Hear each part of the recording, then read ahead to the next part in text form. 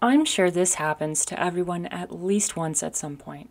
You're hopelessly lost down the YouTube rabbit hole of creators that you follow, who have all released videos about a particular project. Each video you see revs that creative engine in your skull until that catching point when you just know, I must join this cult. So the next case study had to be the American Duchess 1910 wrap cape.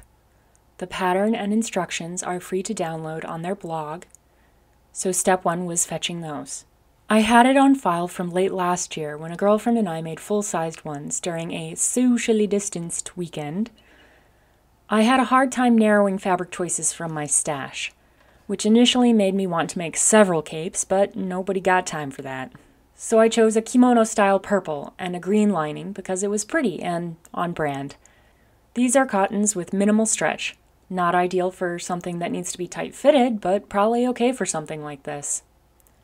I made a quick mock up of the scaled down version to test fit.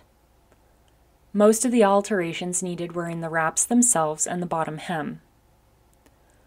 When I had a fit I was pleased with, I traced out the pattern pieces in a way that I could start brainstorming how the inside might work. The main challenge that I believe capes present in stop motion is how best to control their motion in each frame, which brings the focus to the internal structures which are meant to do just that. There is no one size fits all solution for this problem, so it's important to consider the context of the cape. Will it be blowing in the wind or dragging on the floor? Are there stylized folds needed to make it conform to the design logic of the world it inhabits?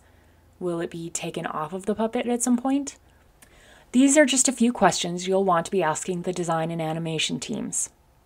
Or just reviewing the script to determine the complexity and control required. The executive decision was made early to have this be a garment that I could remove from the Chibi Me puppet and display on the Chibi Me dress form.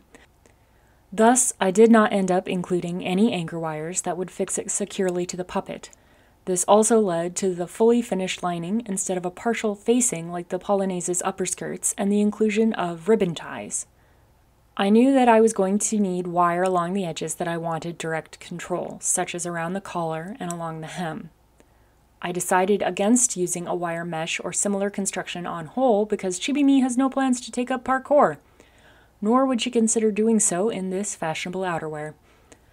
Great pains were taken to keep the wire profile as thin as possible to avoid creating a bulky edge, but unfortunately you can still faintly see the wire on the bottom in the final.